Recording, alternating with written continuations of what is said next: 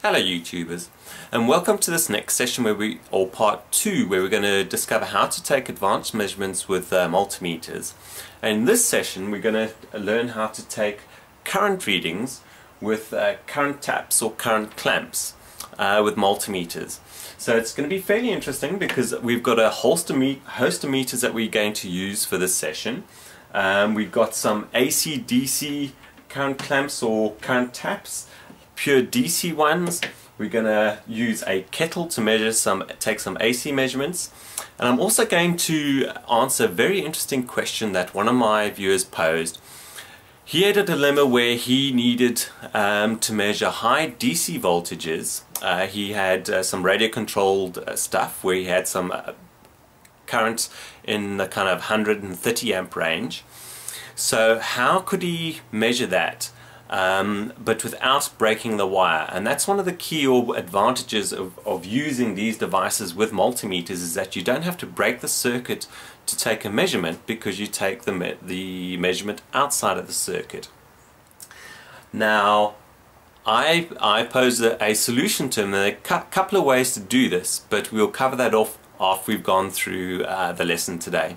Right, so before we get stuck into any practical examples of doing measurements with all these little toys down here, let's uh, get stuck into a little bit of theory uh, so we can cover that off so we've got a little bit of under better understanding about how these bits and pieces work.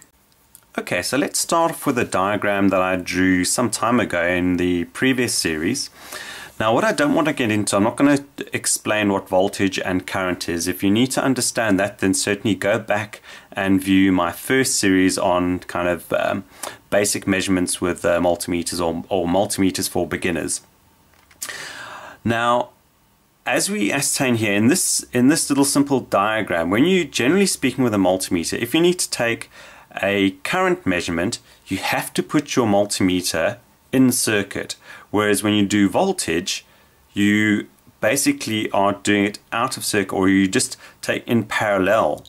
So that is the challenge with taking current, meet, uh, current readings with a normal multimeter.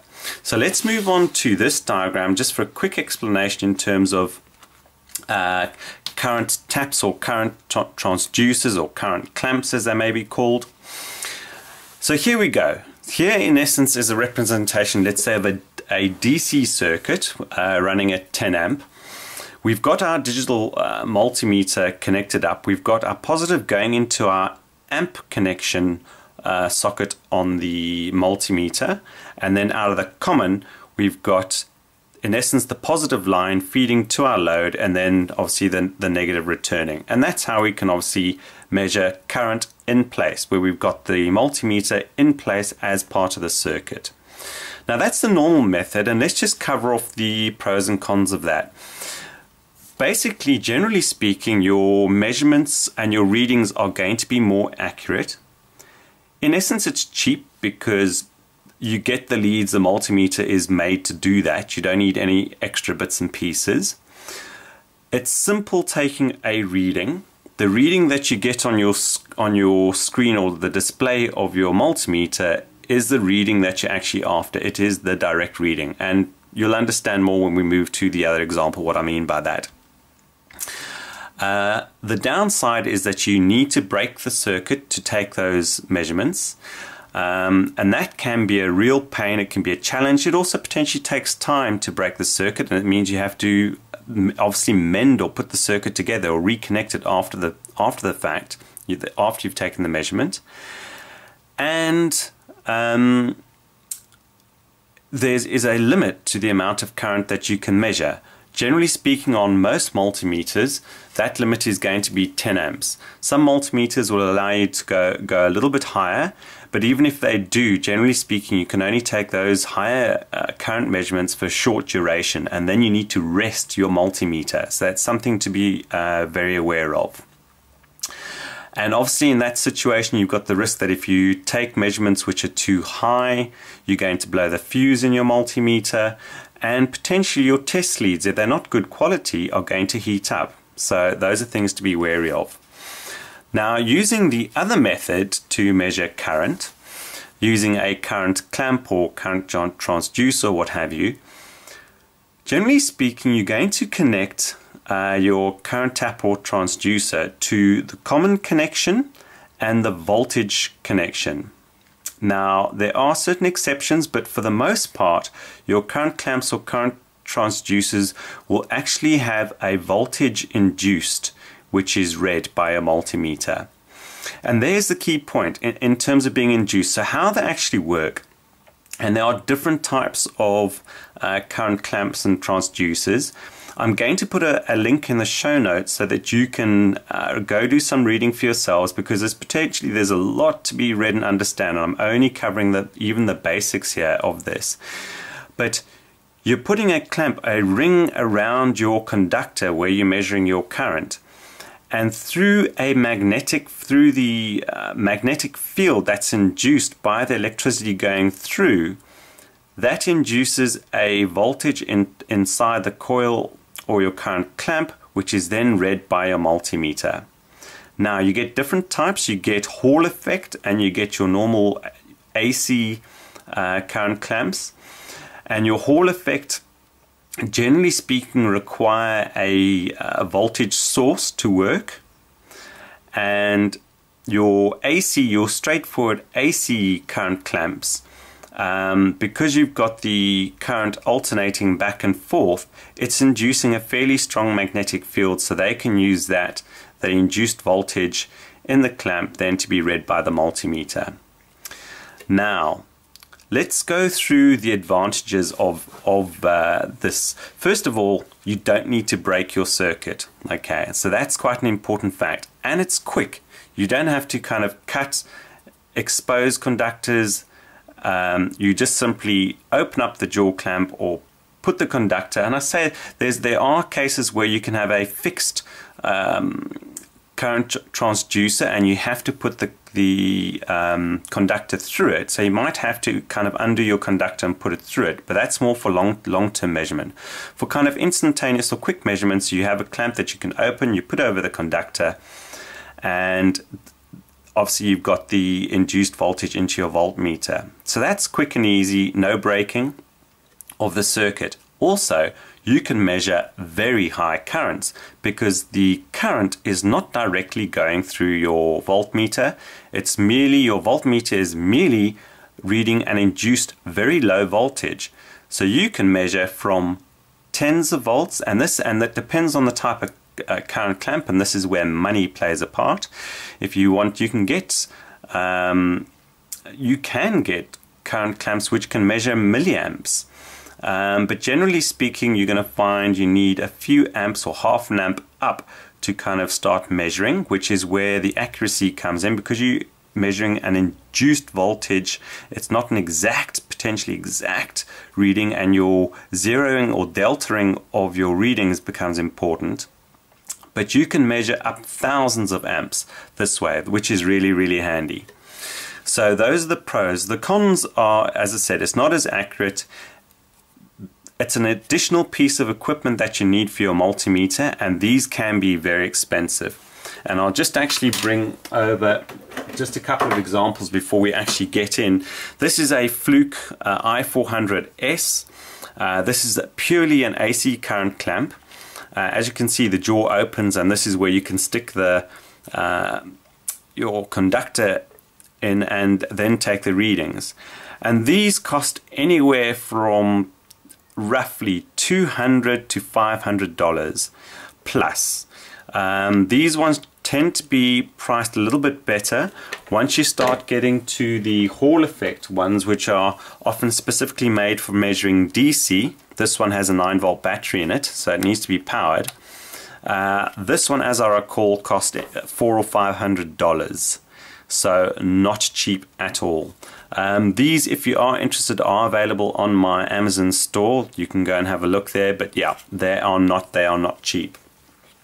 What they also have, what you also have to take note is when these, they have, on here you can see um, there's a little switch here, um, which you can switch between a certain ratio. So this one, for instance, has got a setting where you can switch between 10 millivolts per amp for up to 40 amps that can read. And then on the other side, it's got a 1 millivolt per amp. and that gives you up to 400 amps. And I say you can get these where they go up to three, 6,000 amps plus. So they can be very useful in that regard. But yes, they can be expensive and it's an extra piece of kit that you actually re require. The other downside is that, um, going back to the simplicity of taking a reading, you're reading current, but the readout you're getting on your voltmeter is volts, or your multimeter, I should say, is in volts or millivolts. And you then have to do that transformation in your head. So if you've got it set to a scale of 1 millivolt per amp and you've got 5 amps, well then your multimeter is going to read 5 millivolts. Now that's a fairly straightforward transformation, but it may be 10 millivolts per amp. So your multimeter is going to read 50 millivolts for the 5 amps.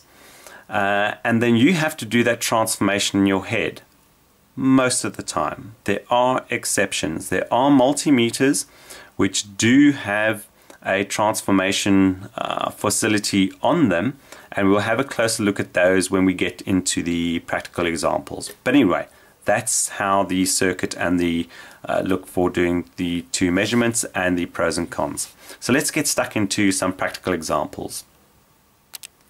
Okay, so let's take a, a, quick closer look at the bits of equipment I have here before we actually connect them up and start taking measurements. Um, I have the wonderful Fluke 87 Series 5 on loan to me from Comtest, so again thanks to them for that. That is one we'll be using uh, with these current tr transducers. I then have a very cheap multimeter here, but believe it or not, it actually has a uh, current um, transformation option on the selector switch there.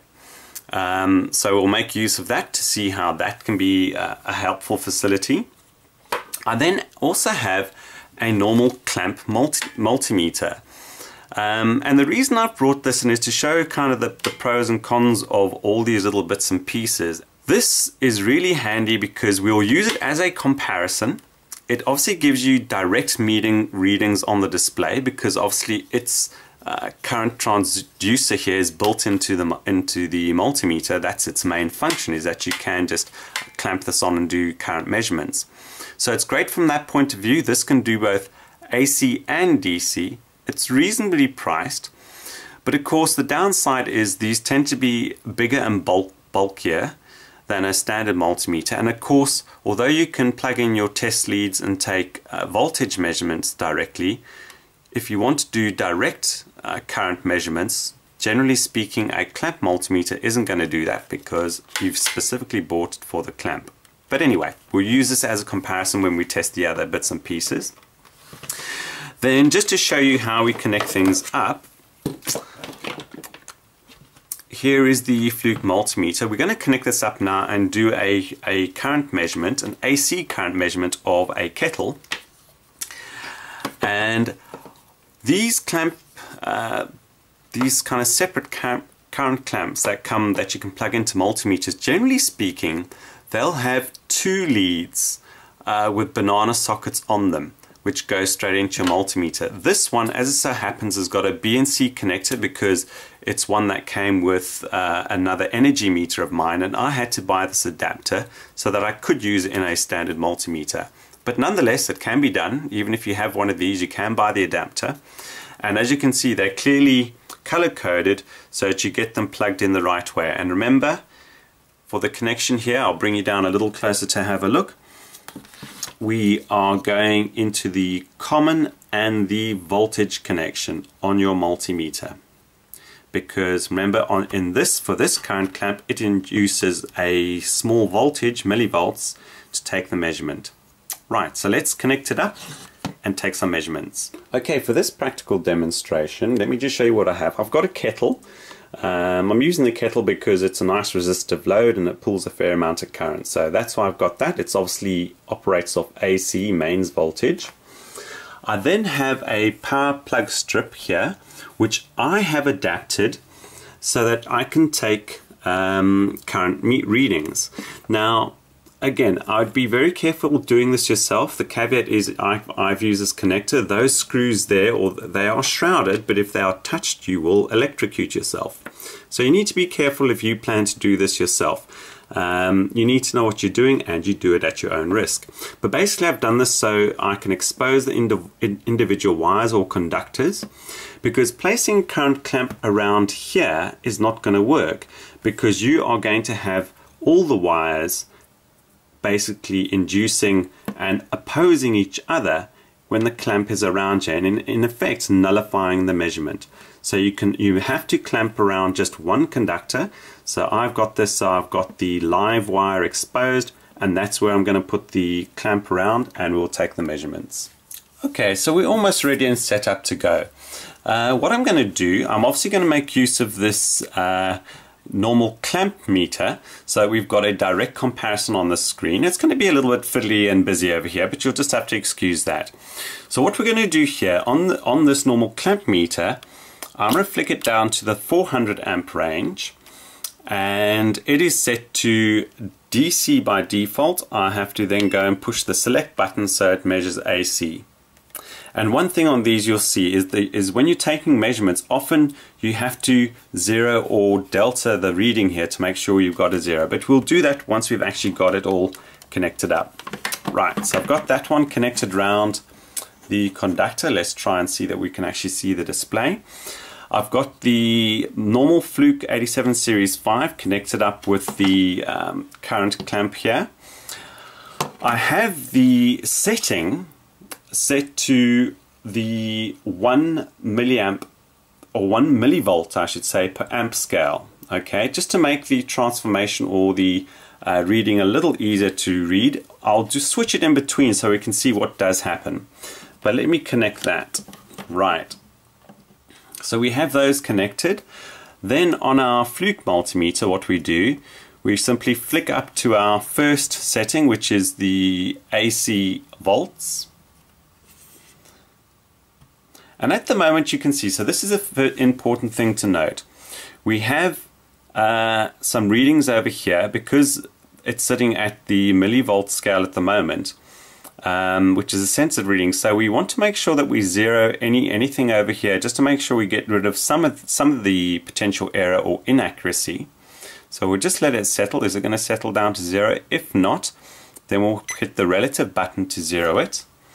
Um, this meter at the moment, it's not too bad. Let's see if I zero it. I've zeroed it, but you'll see even once you've zeroed it, sometimes they'll go slightly off. But a small variance is not too huge. Right, so let me power on the multi-plug and switch on the kettle. Okay, as you can see, I have a reading here of 7.8 amps on my current clamp and we've got a reading here of 7.7 or 7.6 millivolts. And if we do the transformation I'm just going to switch off the kettle now. If we do that transformation remember we said 1 millivolts per amp that would then translate to about 7.6 or 7.7 amps which isn't bad so this has managed to come fairly close to the uh, my normal clamp meter.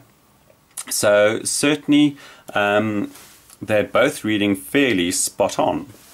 Now let me just switch on the kettle again. I'm going to choose, I'm going to switch to the other transformation while it's actually up. So let's just see that it gets to the reading again.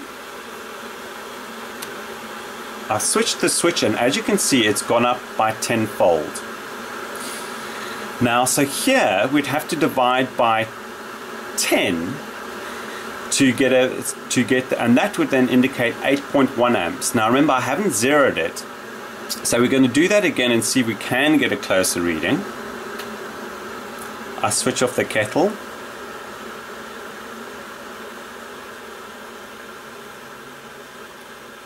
We let it settle.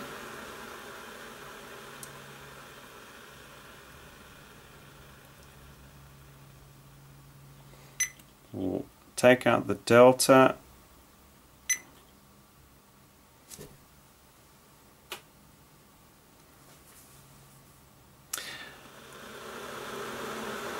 and as you can see in that range, the reading, if we compare with this clamp meter, is slightly out. Now I can't say that it's it's wrong because we don't have a direct connection at the moment, but that's where the transformation and the way we're reading uh, the current in your conductor potentially can have some error. This isn't the most ac accurate way of measuring current, but certainly is a convenient way without breaking and being able to read uh, high, high currents. Okay, so let me connect up the other multimeter which does have some, some transformation. Okay, so here I have the cheaper multimeter connected up. I've got the um, connector connected as I said before in common and the volts. Um, I've changed the ratio uh, on the clamp so we get I've got it set to 1 millivolt per amp and what we do here we flick it round to the little it's got a little uh, icon of a current clamp by D it's gone to DC by default so I have to select the mode switch and take it to AC fortunately it's actually sitting at zero at the moment this doesn't have um, a kind of delta feature. So I previously when I was working this and there's an offset, I couldn't correct it. But anyway, it's spot on at the moment. There we go. I've just switched on the kettle. And what you can see, it's showing us where we've got uh, the 7.7, it's reading 7.9 amps. So this is what's useful about a multimeter which does have some form of trans, uh, uh, transformation is that you can then take direct readings. Now this one though, however, if I flick the transformation up to the 10 reading, you can see it's reading 81 amps. So there's no configuration of the transformation on this multimeter. It is obviously set to 1 millivolt per amp, and that is that. But if your current clamp obviously does that, well then you can get a direct reading and that's quite handy. Now, one probably asks the questions why why doesn't the expensive, more expensive Fluke have that? I'd have to say, generally speaking, current transformation on multimeters is certainly not something that's going to be commonplace, and certainly your your more expensive dedicated multimeters aren't going to add, and I'm going to use this word in inverted commas, gimmicky feature, um, because it's not commonly used.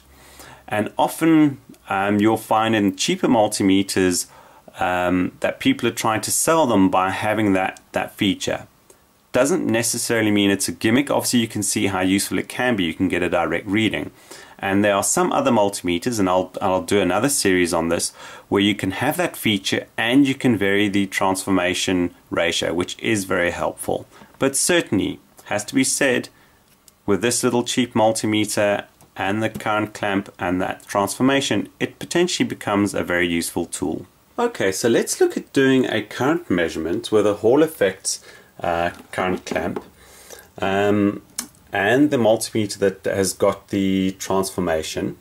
What I'm doing here, I've got a solar panel with uh, its positive, obviously it's a DC measurement, so it's a positive and a negative, and it's coming through here and I've got a reading, a Watts Up meter here, which is giving us a reading of about 2.7 amps. That's a power, the current coming in from the solar panel at the moment. So what we have to do, and you'll have to excuse the video work since I'm going single-handed here, you have to power on your, your current transducer or current clamp. And this one does have, they generally have a, a dial or some means of, of zeroing. So as you can see, if I turn this, the value on the multimeter is changing. So I'm going to try and get that as close to zero as possible. There we go. As you can see from the setting there, I've got it on the 10 millivolt per amp setting. Now I know already, so obviously that the direction of the uh, conductor through this uh, does affect the polarity. So I know that I have to put this on backwards. I clamp it on like that. And let's have a look. So now we've got a reading. Now remember, this was doing 1 millivolt, so we have to divide by 10. So they're saying 22.7 amps. If we divide by 10, that's 2.27, close to 2.3 amps. And if we go have a look at the Watts Up meter, not far off. So bear in mind that the Watts Up meter is a direct uh, reading, so it's probably going to be far more accurate, but still, there you go. So there's how you can get a DC reading, but of course here, as said, it's a little confusing because uh, of the transformation on this multimeter. But let's just have a look what that looks like on the Fluke without a transformation. Here we go. So I've got the Fluke connected up now. I did zero the um, current clamp or current tap beforehand. You can see now I've got it set to the millivolt uh, DC setting and it's showing a reading of 25.7. So again, remember we got on the 10, so we divide by by 10, so that's 2.57 and it's kind of moving around and if we go to the Watts Up meter it's showing two, just on 2.6 so certainly not too far off. Uh, but with I say without the uh, transformation that's what you're going to be reading is you're going to be reading millivolts which you have to realize is obviously you're reading amps. So you divide by 10 2.5 7 and it's amps obviously. So it's certainly not, um, it's certainly very handy if you read on the DC side again, not having to break the circuit, but you do have to go that, through that process of the transformation if you have a normal multimeter. So let's get back and, and try and answer that question that was posed to me again by okay. one of my viewers.